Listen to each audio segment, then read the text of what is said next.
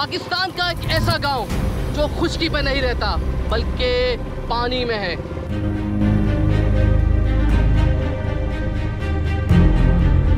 यकीन नहीं आता, हम यकीन दिलाएँगे। कहाँ है? किस जगह पर है? कैसे रहते हैं? क्या खाते हैं? और इनका कल्चर क्या है? तमाम चीज़ों से रूबरू करवाने वाले हैं।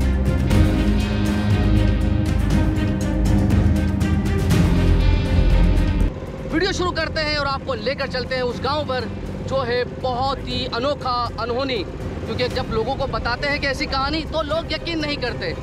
आइए आपको दिखाते हैं।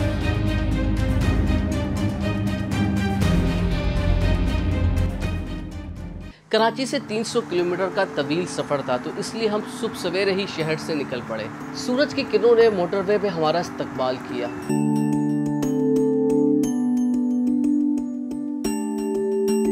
हैदराबाद टूर से थोड़ा सा पहले ही उल्टे हाथ में हमने एक टन लिया, जो रास्ता हमारी मंजिल की तरफ़ जा रहा था। रास्ता इंतहाई खूबसूरत, सड़कें पुख्ता और मनाजिर इंतहाई खूबसूरत थे। हम अपनी मंजिल के करीब पहुँच रहे थे और जस्तुजू हमें दिखाने की थी एक ऐसा गाँव जो समंदर में बसता है।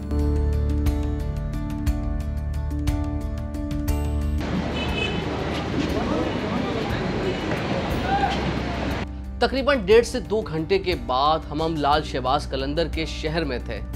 लाल शहबाज कलंदर के शहर से होते हुए हमने अपनी मंजिल की तरफ़ आगे बढ़ना था।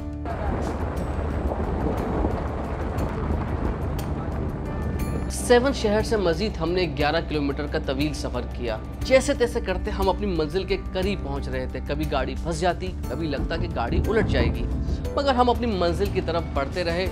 क्योंकि आपको वो मनाजिर दिखाने थे जिनका आपसे वादा कर अभी गाड़ी मेरे चलते जो थोड़ी सी फंस गई थी तो वापस नीचे ले जा रहे हैं। देखिए फाइनली गाड़ी जो है ऊपर आ गई है। ये हमारे चांडियो भाई गाड़ी ऊपर ले आए। तो भाई अभी थोड़ा सा सफ़र और है आगे का। आप देख सकते हैं बड़ा खूबसूरत नज़ारा है माशाल्लाह। तो भाई चलें दोबारा से गाड़ी में बैठते हैं और आपको आगे की सीन्स चेक कराते हैं।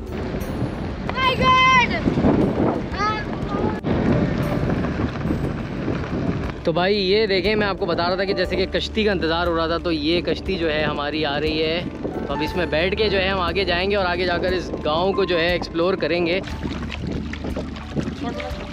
तो भाई देखें इस तरीके से यहाँ पर आके कश्ती लगती है और यहाँ से जाते हैं आप लोग। सही है। अच्छा आप लोग यहीं पर ऐसा ही ऐसे ही अब तरफ़ करते हैं? ऐसे ही सामान का और कुछ भी जो लाना आना जाना है यही सिस्टम है। यही सिस्टम है। ठीक है। तो फाइनली हम उस जगह पहुँच गए पाँच किलोमीटर की ऑफ़ थी बबक से और वहाँ पर गाड़ी हिचकोले खाते हुए आई है। तो बस ये हमारे यूसुफ भाई आ गए। माशाल्लाह यूसुफ भाई थैंक यू सो मच आपकी नवाज़ मेहमान नवाजिश का। और हम यहाँ आ गए। चले जी बस अब आ गए अंदर आ जाएँ। आप भी आ जाएँ अभी आ जाए अभी आ जाए। बिस्मिल्लाह बिस्मिल्ला करें भाई। चलो भाई ये स्पीड लड़के ने जान लगाई।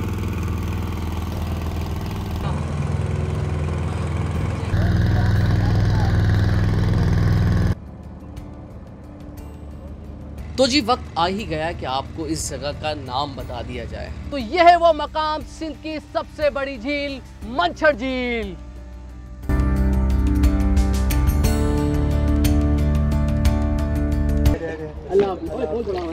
पानी से जो मोहब्बत का टूट रिश्ता है ना, ये बिल्कुल नाकाबिल यकीन है। यानी अगर आप किसी को कहानियाँ सुनाएँ तो बोलेगा, यार, ये तो कोई अफसाना है, कोई ऐसी तहरीर है कि जिसका कोई हकीकत से दूर दूर ताल्लुक़ नहीं है। मगर भाई, ये हकीकत है और एक ऐसा गाँव है सिंध में जो खुशकी में नहीं पानी में रहता है।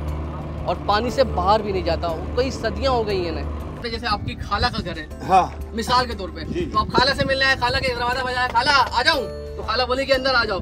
और आपने अपनी खाला के घर चले जाना इसी तरह जाते हैं भाई जिस तरह हमारे होते हैं ना आठ फोर आठ सिक्स तो इनके सभी नंबर दिए हुए हैं कश्ती के ये कश्ती वन कश्ती टू और ये देखे सारे यहाँ पर कश्ती में सारे चूल्हे वगैरह सब हाँ, बने हुए यहाँ पर और सारे। कंबल वंबल रात में थोड़ी सी ठंड हो जाती होगी तो हाँ। पूरा मुकम्मल तौर पर बच्चों के लिए झूले हाँ। मतलब तमाम सहूलियात दी गई है अपने तौर पर जो कर सकते थे वो कर रहे हैं तो भाई हम पड़ोसी के घर जा रहे हैं आजा भाई तो ये पानी तो आप लोग बाहर से लाते हो ना ये वाला? किचन में पानी तो बाहर से लाते हो ना है पानी बाहर से लाते हो ना ये? पीने के लिए। पीने के लिए पानी कहाँ से लाते हो? अच्छा भाई तो सिंधी आती है इधर उनको उर्दू अच्छी नहीं है। आ, लेकिन ये देखे भाई हम यहाँ आ गए पड़ोसी की पड़ोसी के घर पे पड़ोसी की कश्ती में तो इस तरह के बैठते हैं गपशप लगाते हैं एक दूसरे के साथ ये लोग और इसी तरीके से ज़िंदगी गुजार रहे हैं और उनको खुशकी में मज़ा नहीं आता। वो कहते हैं कि भाई ये जो खुशकी वाले लोग हैं ना एक दूसरे को धोखा देते हैं। हम जो पानी में रहते हैं ना वो एक दूसरे का साथ देते हैं। सोचिए।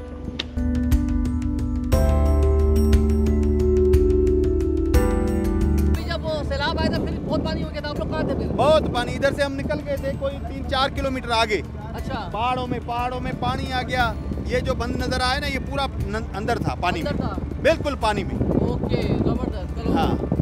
तो यहाँ पर आप कितनी सदियों से यहाँ पर? हम तो पुराने सदियों से सौ सालों से ऊपर। सौ साल हो गए? हाँ बिल्कुल ऊपर। तो, तो ज़मीन पे क्यों नहीं जाते? वजह क्या है? वजह एक है हमने जन्म इधर से लिया है और सदियों से रखे। ज़मीन पसंद नहीं आ रही। पसंद नहीं आ रही है। बच्चों को सबको बस मसला ये है उसकी पसंद होती है वो ये कम से कम कोई सदियों से रह के आते हैं। तो उसको छोड़ना बड़ी मुश्किल मुश्किल हो जाता है। हो जाता है। पानी से रिश्ता हो गया पानी का रिश्ता हो गया।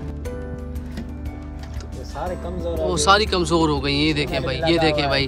अब क्योंकि कश्ती ये कम से कम भी बीस से तीस लाख में बनती होगी ना ये। ये कम से कम दस से ऊपर दस से ऊपर लाख में बनेगी तो उनके पास तो पैसे ही नहीं होंगे बिल्कुल ऐसा खा ही नहीं है रोज़गार नहीं है। क्योंकि मसला ये है कि पानी खराब है। पानी खराब में मच्छी नहीं खड़ी होती है। हमारा रोज़गार मच्छी के साथ है। पानी पीने जैसा नहीं है जहरीला है। ये पानी जहरीला क्यों हो रहा है? ये गवर्नमेंट ने किया है। ये वो सुना, सुना है नहीं है। सुना है हुकुम वो जो कम, बड़ी कंपनी है उनका फुसला आ रहा है यहाँ पर। जी जी हाँ कंपनी जो होता है थर्मा थर्मा हाउस आई और वो नहीं होता है वो शुगर मिलिया। ये सारे जो भी केमिकल के पानी है ना वो सारा मंशर में आता है। अच्छा। किसी जमाने में तुम्हें पानी नज़र नहीं आता घास ही घास होता सबज। ओए ओए इतनी अच्छी होती थी। इतनी होती। अब मछलियाँ भी नहीं होती। मछली मछली सैतालीस किस्म होती थी। अब कितनी है? अभी तीन किस्म है चार चार है वो भी घट मकदार में। घट मकदार में। असला वालेकुम। हाँ बस। हाँ। तो ऐसे ही रहते हो आप? कहाँ गए थे? अभी ये लोग कहाँ गए थे? ये अभी इधर ही गाँव में गए थे। अच्छा किसी से मिलने गए थे? हाँ, अपनी बहन वगैरह से मिलने गए हाँ, होंगे अरे वाह भाई वाह ज़बरदस्त। अभी इसका यही है। तो बस वो खाने को कुछ है या नहीं होता कुछ भी? कुछ भी नहीं है वो कह रही है, खाने के लिए कुछ नहीं है। बहुत गुर्बत आ गई। और खास तौर पे सैलाब के बाद ना तो स्कूल जाते हो? स्कूल नहीं जाते स्कूल है ही नहीं यहाँ पर। अच्छा तो वही ये देखे मैं आपको बताता हूँ अभी जो कहानी बता रहा था ना मैं आपको साफ़ पानी नहीं है स्कूल नहीं है अस्पताल नहीं है और तकसीम तो राइट बात खुशकी में ही होती है और इसी तरीके से शादी ब्याह भी इनकी यहीं होती है यानी तमाम मजहबी रसूमात यहीं की अदायगी करते हैं नमाज़ भी यहीं पढ़ते हैं। और सबसे बड़ी बात कि यार जो लोग हैं ना वो बहुत अच्छे दिल वाले हैं। मतलब आप आ रहे हैं तो इनके जो सकाफत है उनका ख्याल रखिए और इनके साथ मोहब्बत से पेश आइए। ये आपको लग बड़ी फैसिनेटिंग होगी ना कि आपको बड़ी ऐसी लग रही होगी कि रोमांटिक है भाई कश्तियों में रहते हैं वाह यार क्या ज़बरदस्त मनाजिर है हाँ पिकनिक के लिए ऐसे मनाजिर अच्छे मगर हकीकत में ये लोग बहुत परेशान हैं ना तालीम है ना सेहत है ना साफ़ पानी है कुछ नहीं है इनके पास।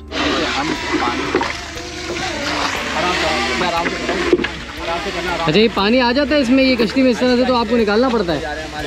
तो देखिए भाई, ये इस तरह से जो है, ये मुश्किल इतनी है कि भाई देखें ये कश्तियों में जो है ना, इस तरह से पानी आ जाता है तो भाई को इन लोगों को निकालना पड़ता है। अब मैं वापस अपनी कश्ती में और वापस कराची का सफ़र शुरू करते हैं। और बहुत अच्छा सफ़र रहा, कुछ, बहुत कुछ सीखा, एक नई नई दुनिया। मतलब जिसके बारे में सोचा ही नहीं था कि यार ऐसे भी लोग होते हैं कि जो सिर्फ़ खुशकी में रहना पसंद नहीं करते, बल्कि पानी में रहते हैं और पूरी सदियाँ हो गई। कई कई नस्लें इनकी इस तरह से रह गई हैं। तो हुकूमत को चाहिए कि थोड़ी सी सपोर्ट करे और इसको थोड़ा सा अच्छी फैसिलिटिंग कर दे, थोड़ा नीली पीली कलर की जरा होती ना खूबसूरत कश्तियाँ बना दे ताकि टूरिज़्म फैले और यहाँ पर लोग आए। फॉरनर्स आना चाहते हैं पाकिस्तान, मगर आप सहूलत दें। पहले इनको दें, फिर उनको दें। तो अपना ख्याल रखिएगा, इसको मैक्सिमम शेयर कीजिएगा। फेसबुक यूट्यूब पे अल्लाह हाफिज़ जी।